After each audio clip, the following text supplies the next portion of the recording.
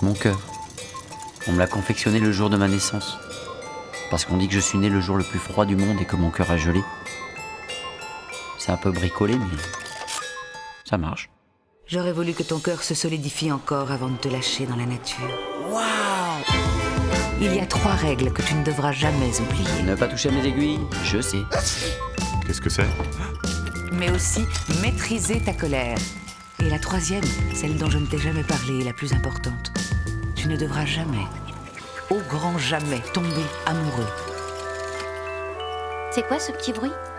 C'est mon cœur. Vous aimez? Oui. Tu ne supporteras jamais la charge émotionnelle et physique que provoque l'amour. Je ne suis qu'un trucage humain qui voudrait devenir un homme.